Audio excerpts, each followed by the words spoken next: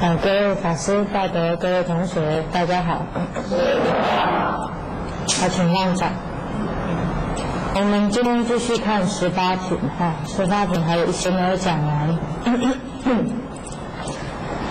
好，请翻开大正藏，啊，第四十七页，啊，啊，十六页下来，啊，四十六页下来。那么我们上堂课呢，啊，有提到，就说整个水洗功德体，啊，他还是依着这个，还是在讲这个清文法华经水洗的人，啊，他的问题啊，弥勒菩萨的问题就是清文法华经能够内心生水洗的话，他得多少福德？那么佛陀他怎么回答呢？啊？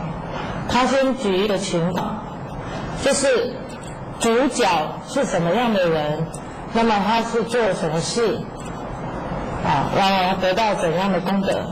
他主角就是